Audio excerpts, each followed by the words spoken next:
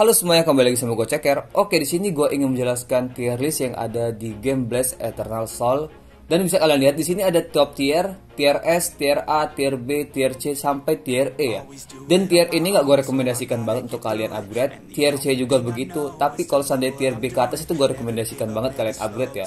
Karena emang hero nya cukup berguna dan yang sudah gue tahu di sini skill-skillnya seperti Amaterasu ini cukup GG sebenarnya. Sebenarnya malah cocoknya dari tier A sebenarnya dibanding di tier B karena emang sakit banget. Dan juga yang pala hijau ini juga bagus banget sebenarnya cocok di tier A tapi kita kurang tahu juga ya kenapa dia bisa jadi tier B kita kurang paham juga mungkin skillnya ada yang kurang tapi menurut gue sudah bagus kok Amaterasu ini dan gue rekomendasiin untuk kalian upgrade. Dan di tier A kalian bisa lihat di sini ada hero R ini Ruchika ini bagus banget serius. Jadi kalian upgrade aja Ruchika ini karena emang GG banget serius. Ini berguna banget sampai jangka panjang sih sampai pertengahan game mungkin masih berguna. Karena emang skillnya bagus banget. Dan juga di sini ada Onihime. Di sini hero SR yang bisa nge-heal itu cuma Onihime.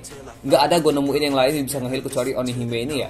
Dan bisa kalian lihat di tier S nya ini gue kurang paham skill skillnya karena gue belum dapet hero-heronya ya Tapi di nomor 3 ini gue ada hero nya Skillnya di ultimate dia ini AOE Cukup sakit dan cocok banget emang dia di tier S dan di top tier ini ada Uchigo. Kenapa dia ada di top tier? Kenapa Ichigo ini ada di top tier? Karena dia ini bisa kita upgrade ya seperti ultimate ya, seperti skill-skillnya, seperti yang lain-lainnya lah. Ini Ichigo ini hero spesial sebenarnya bisa kita upgrade melebihi semua hero-hero ya.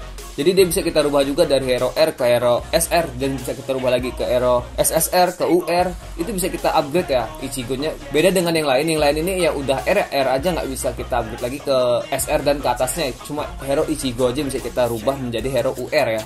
Oke, gue bakal tunjukin juga gameplaynya hero SR dan juga hero R-nya di sini. Ini bisa kalian lihat ya ini, ini hero R yang kata gue tadi itu ultimate seperti ini. Dia bisa ini ya ke belakang satu lane belakang gitu ultimate dia ya cukup menarik lah dan cukup baik lah untuk kalian kalau awal-awal. Dan ini hero S yang kata gue tadi tier S tadi seperti itu ultimate ya. Itu bisa sampai 4 musuh yang kena ya. Dan ini Onihime yang kata gue ultimate bisa nge-heal. Dan waktu dia heal itu dia juga bisa mendapatkan dev ya di situ. Dan ini Ameterasunya dan ini Ruchika ya bisa dapatkan critical change itu menurut gue yang baik dari Ruchika ini apalagi dari ultimate nanti dan ini kepala hijau tadi itu dia ultimate bisa ke belakang ya. Dan juga kita bisa mendapatkan peluang stun di situ kalau seandainya kita hoki. Dan auto attack bisa jadi warning. Warning itu seperti racun. Oke di sini jangan lupa kalau kita mau combo kita gunakan dulu ultimate Ruchika nya. Karena dari ultimate Ruchika itu kita bisa mendapatkan critical change ya. Dan juga ranks di situ itu cukup berguna banget untuk kita ini hero SSR ini hero SSR Yoshiro. Dan itu kritikalnya aktif. Dan bisa ultimate dua kali hero SSR ini Yoshiro. Dan ini dari Ameterasunya.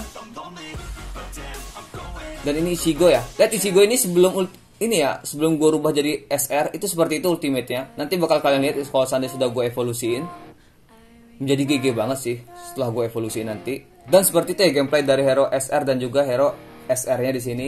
Oke, mungkin cukup lah cuma itu aja. Bisa kalian lihat tadi dari gameplay tadi ya, seperti apa Uchigo, seperti apa Ruchika, seperti apa dari Onihime ya. Itu GG banget ya. Apalagi Ruchika ini hero R tapi serasa hero SSR itu bagus seriusan. Itu kepake lama itu si Ruchika itu seriusan gue jadi ya gue rekomendasiin kalian upgrade aja dia sampai mentok juga nggak apa-apa. Karena emang berguna banget untuk kita para newbie untuk awal pemain awal-awal itu emang berguna banget Ruchika.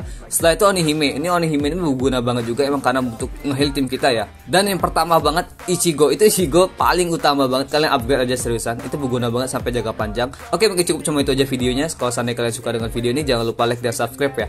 Oke see you. Thank you